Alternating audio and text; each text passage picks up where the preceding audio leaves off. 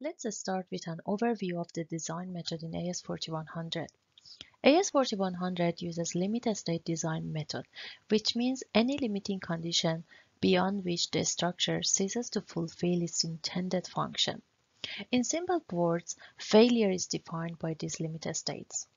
For example, if the criteria defined by these limited states is 20 mm maximum deflection and you get 25 mm deflection from your analysis, the structure does not meet the requirement of limited state design.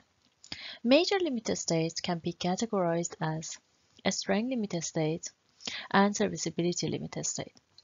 A strength limited states are the state related to life safety of people, for example, exceedance load capacity, overturning, sliding, and fracture. Serviceability limited states are the states related to the excessive deflection, vibration, or permanent deformation. For example, in table B1 um, from AS4100, you can see the suggested limits on calculated vertical deflections on B. For example, for beam supporting masonry partitions, you can see the deflection is L, um, def deflection criteria is L over 500. So what is the formula for limited state design? You can see here the general formula, which is R star equal to or less than phi RU. R star is the design load taken from load combinations as per AS 1170.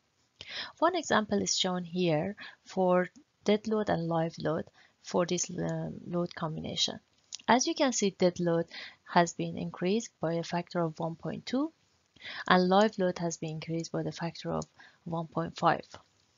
And on the other side of this formula, you can see a phi, which is reduction factor, for RU, which is capacity of the structure, for different actions, such as axial, bending moment, shear, etc.